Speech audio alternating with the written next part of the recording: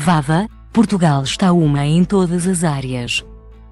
Ponto e vírgula Vava Rebelo, companheira de Simão Sabrosa, deslocou-se com os filhos até ao Estádio da Luz, em Lisboa, na noite desta terça-feira.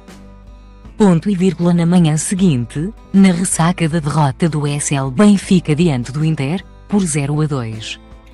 Nos quartos de final da Liga dos Campeões, a Interior Designer deixou uma mensagem nas redes sociais. Ponto e vírgula assim rápido sobre a noite de ontem. O B foi ver o jogo lesionado de um joelho. Índios, resultado normal. Estes sorrisos deviam de ter sido mantidos até ao final do jogo.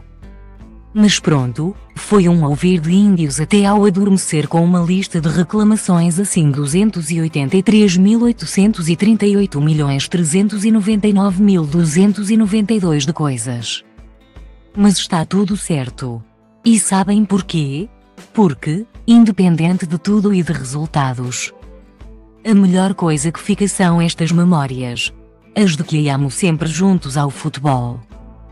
Começou por escrever na legenda de duas fotografias que colocou online. Ponto e vírgula Portugal está uma lástima em todas as áreas.